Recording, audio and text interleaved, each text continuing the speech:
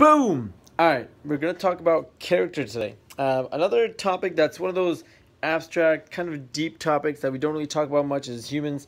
Um, it's obviously very important. I mean, you know, we all know good character versus bad character. Uh, we know we all want to have good character. We all know people who have bad character. Um, and we probably haven't given much thought on what is really good character and what is actually bad character, as in, you know, at a kind of a deeper level, kind of really just trying to understand it or explain it. Um, most people, if you ask them, hey, explain to me character or like what is somebody's character or how do you find or how do you define somebody's character, they'll you know they'll first kind of start thinking about actions. Uh, well, you know that person donates, uh, so maybe they're generous. Um, actions don't mean actions and, and, and characters are, are, two different things, of course. Um, even personality and characters are two different things. Actions are a reflection of your character, but they can be very deceiving. Um, I'll give you an example. So, a generous person. A generous person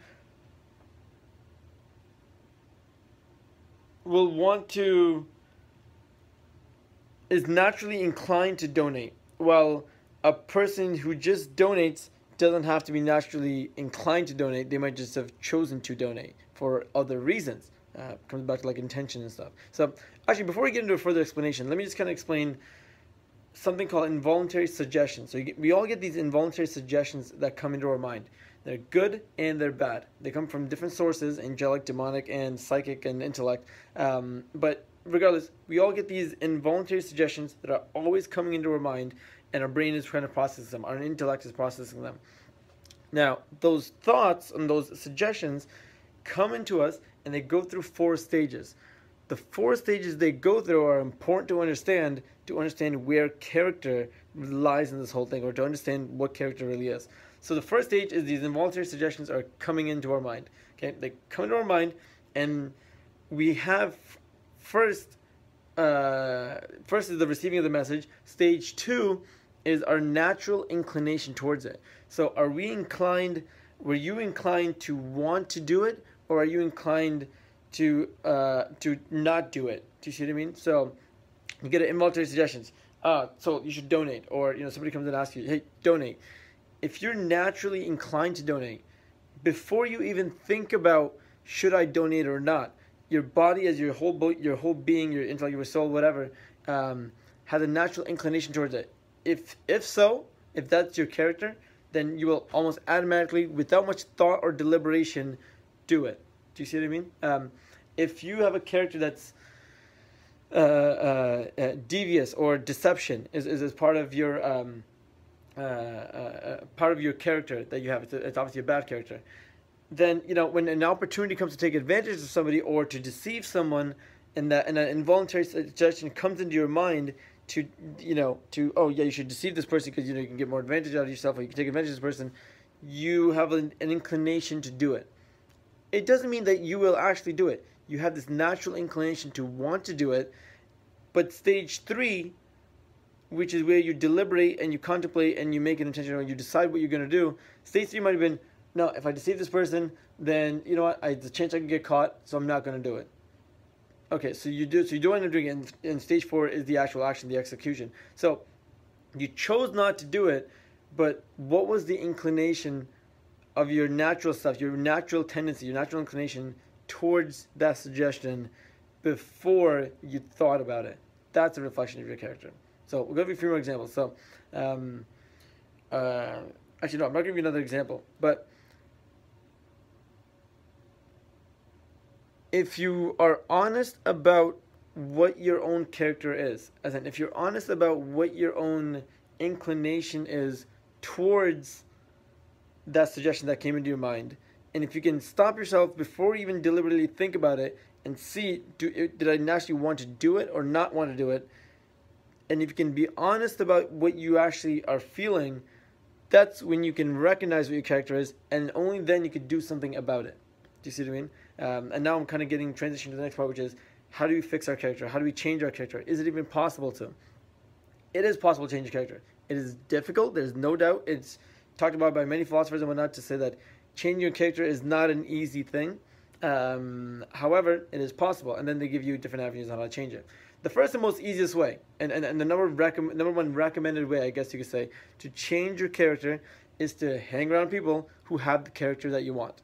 Okay? So if you are a coward person and you want courage, you gotta hang around people who you see that have courage. And uh, just literally being just around them and in their in their natural environment or whatever it is uh, you will start taking on some of their characteristics. Um, if you are a lazy person and you uh, or, or you have gluttony where you know you eat in excess you do everything too much in excess uh, and, and you want to have a character where you know you have restraint over yourself and you can control you know uh, what you do you've got to hang around people who, who have self-control or restraint as, a, as part of their character um, and you know it's not just the fact that you know um, being around them is just going to change you um, because that might be a reflection of the character because i said just because you see it in their actions it doesn't mean that that's a reflection of their character. So just because you see somebody donating, uh, it doesn't mean that that person is a generous person as well, right? So you got to be really careful when you're looking at actions. If a person is donating, but they're donating for the purpose of showing off, ostentation, that's what it's called. If they're donating for that purpose, then that's a really that that person's character is not generosity or generous. That person's character is actually deception. The person is donating for the purpose of showing off that's not a characteristic you want to take onto yourself.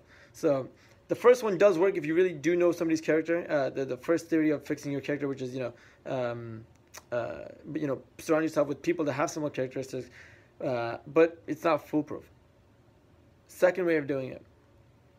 The second way of changing your own character um, and that's you know there's a prerequisite to even that. The prerequisite is that you gotta want to change your character. So you have to aspire to be there, you know, to be a better person, to have a better character. Uh, that's a prerequisite. But the second way is temporarily doing certain actions that uh, are an opposite effect of not an opposite effect, but that would balance uh, or that would bring your character to the way you want it. Now, it's kind of like medicine. When you're sick, and you, when you're sick, as in like you know, so say you do have a cowardness, and, and you know, it's not sickness, but I mean you, you have cowardness as a character. The the what you have to do to fix cowardness is temporary. Does that make sense? It's kind of like medicine. If you're sick with the flu, you only take medicine until you get better, and then you don't need that medicine anymore. So, fixing a lot of character traits, especially bad character traits, it's almost like taking medicine. You have to do certain actions or certain things only until it's fixed, and then after that, then you to work on just maintaining this balance uh, through actions and through other things. But there's certain actions you have to do to get yourself out of that bad character, to get yourself into a, like an equal character, I guess you could say, or sorry, a, a better character or a good character. Um, again, it's a much bigger topic on analyzing what the different characters are and then how to fix each of them. Um, and, and I'm not going to get into this video because I just want to give you a gist of it all. But once you start analyzing your own character, which, you know, especially through self-awareness or through self-analysis, which is key in this whole thing, because again, you know, you've got to literally stop yourself when an involuntary suggestion comes in into your mind and say, let me quickly reflect on this.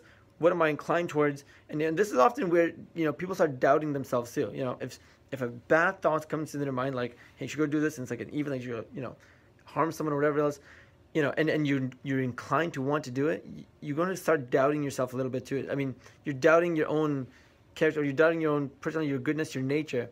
Um, the good thing is, I mean, you can't really be judged on this because it's kind of like intention, right? Like your intention is is is, is all like these are all like things that happen before the actual action happens. So, I mean, and because even the thoughts are involuntary, and your natural inclination towards it is also involuntary. You know, it's a reflection of your character, but it's involuntary.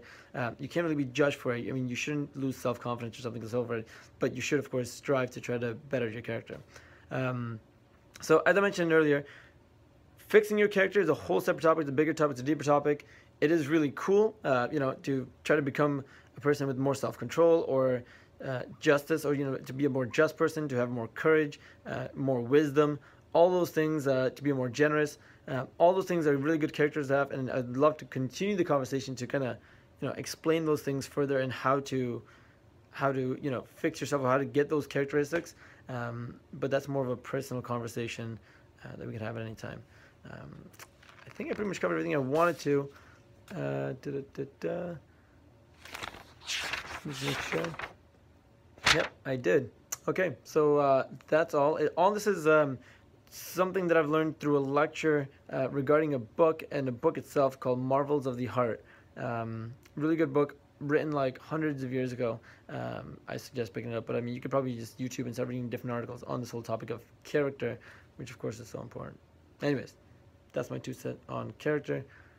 That's all for now.